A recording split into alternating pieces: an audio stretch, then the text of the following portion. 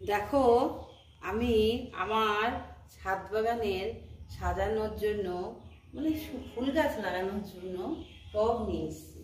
তো আমার কি মনে হলো, যেহেতু আমি ছাদ বাগানের উপরে বেশ করে এই ব্লগটা বানাচ্ছি, তার জন্য তোমাদের দেখানো উচিত যে কীভাবে এই টবটা তৈরি হয়। আমার অনেক দিনের ইচ্ছা যে টব কী করে তৈরি হয় সেটা দেখব। আমার যখন ইচ্ছা, যেহেতু তোমরা আমার এখন একান্ত আপন হয়ে গেছো, তোমাদেরকেও দেখালে আমারও ভালো লাগবে। তো চলো দেখে আসি আজকে।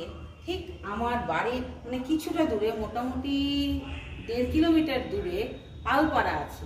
সেই পালপাড়ায় কি করে ঘরের বউরা, কাকিমা বা বৌদিরা কীভাবে টক তৈরি করে দেখাবো।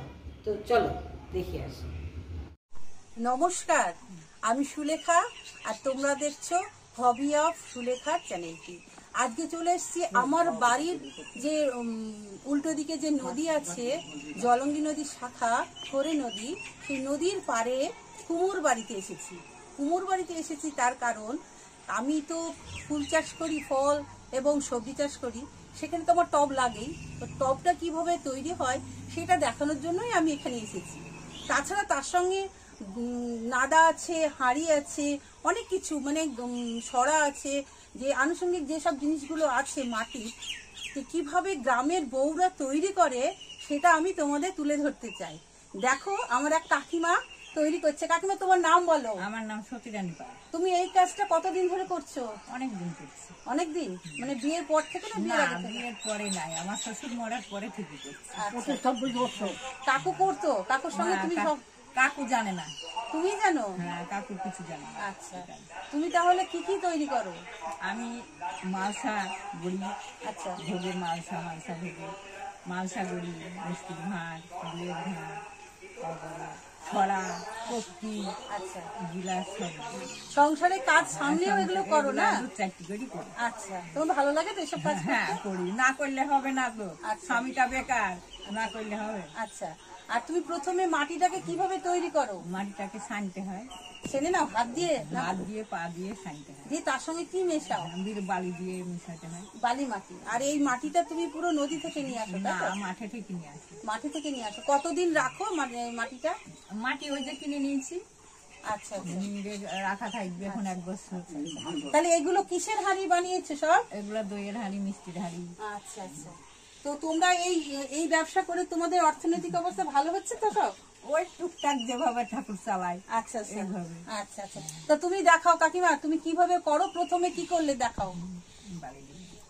প্রথমে বালি দিচ্ছ? বালি দিচ্ছ। আচ্ছা দাও। তারপরে? এই যে আচ্ছা আচ্ছা। গড়াচ্ছি। আচ্ছা। ওটাকে ঘুরিয়ে ঘুরিয়ে করছ তাই তো?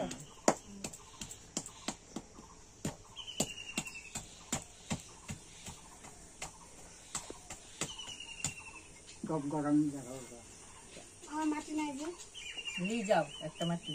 দিক গড়ি যাও। হ্যাঁ ছোট্ট দেখো খুব সুন্দর হাত ঘুরিয়ে ঘুরিয়ে একটা মাটির হাঁড়ি তৈরি হচ্ছে। সত্যি মানুষের কি বুদ্ধি? মানুষ সব পারে। কি সুন্দর। তার আকারটা নিয়ে চলে আসলো দেখো।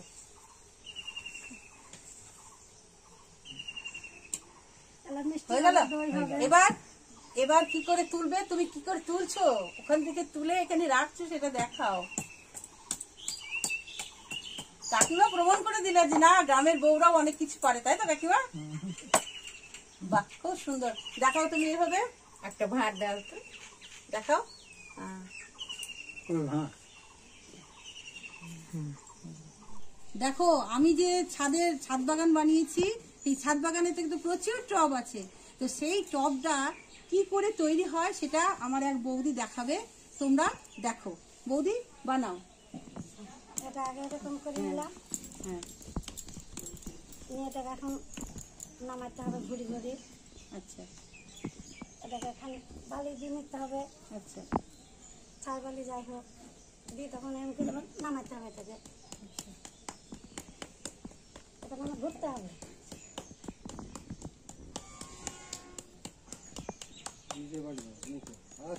আস্তে আস্তে জোরে দিও না। নরম মাটি তো আছে। থাক। এইভাবে করে তুমি ক ঘণ্টা রেখে দেবে বৌদি? তিন চার ঘণ্টা থাকবে আর রোদ হলে পরে আমার এক ঘন্টায় হয়ে যাবে। আচ্ছা দিয়ে তারপরে কি করবে? তারপরে কান্দা লাগাইতে হবে। ওই তোমার ওপরের কুচিটা দেবে তাই তো? হ্যাঁ। ডিজাইনটা করবে। হ্যাঁ।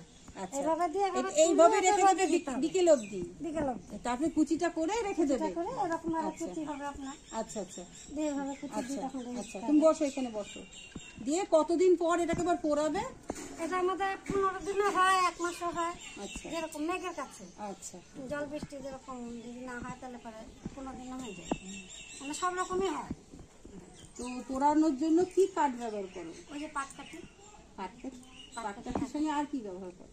সাথে আমাদের কিছু থাকে না। ও তাহলে পোড়াওটা কীভাবে? মানে চারিদিকে ওগুলো সাজিয়ে দাও। হ্যাঁ ওগুলো আছে সাজিয়ে দিই। সাজিয়ে তারপরে মানে ওই যে নিচ দিয়ে আমাদের জাল করতে হয়। আচ্ছা। দিয়ে ওখান জাল করে সারা দিন ক ঘণ্টা পোড়াতে হয়? ওটা চব্বিশ ঘণ্টা লেগে যায়। বাবা অনেকক্ষণ তাহলে অনেক জানালি নাকি হ্যাঁ? আচ্ছা। ঠিক আছে। তুমি কি কি বানাতে পারো আমাকে একটু দেখাও বৌদি। আমি দেখেন এই টপটা পারি এরকম হবে। আচ্ছা। আবার এই যে আছে। আচ্ছা পয়সা রাখার পয়সা রাখা আচ্ছা। এই আচ্ছা। এরকম মানে যা এরকম নিবে যে। মিষ্টি হাড়িগুলো টপ। আচ্ছা বড় টপগুলো করো। তারপরে গরু খাওয়ার যেটা নাদা হ্যাঁ বলে না ওটাও আছে হ্যাঁ ওটাও আছে। মিষ্টি ভাত। মিষ্টি আচ্ছা হ্যাঁ মিষ্টি ভাত তো দেখালাম কাকিমা করল ওগুলো আমরাও জানি। তুমি করো না দাদা করে। তুমি করো। করি। তাহলে বেশ ভালোই লাগছে যে মহিলা হয়ে। তুমি একটা সুন্দর কাজ আছে আচ্ছা এই যে তাহলে যে তোমাদের কি একটা চাকা আছে গোল দিয়ে হ্যাঁ ওটা দিয়ে নাড়া তৈরি করো। না আচ্ছা ওটার উপর দিয়ে করো। উপর দিয়ে করে। ছাদ হ্যাঁ ছাদ। ছাঁচ এগুলো ছাঁচ এটা আর ওটার মানে ওগুলা নাদায় দেখেন এই বড় নাদা তৈরি হয়। এটাতে কি হয়? এটা দিয়ে ভাত তৈরি করা হয় দেখো এখানে বিভিন্ন সাইজের টব আছে। এই যে টবগুলো দাদা তৈরি করেছে তো এই কাঁচাগুলো এইখানটা দিয়ে এই যে এই এই জায়গাটায় দিয়ে এটা পোড়ানো হয় ঠিক আছে? এটা তো পুরো কাঁচা। দাদা বলুন আপনি এটা কি এটা সব থেকে বড় সাইজ এটা না এটা সাইজ এর চাইতে বড় আমরা তৈরি করি। আচ্ছা মোটামুটি আচ্ছা, ওটা আছে উপরে আছে। এই সাইজটার দাম কত বলুন?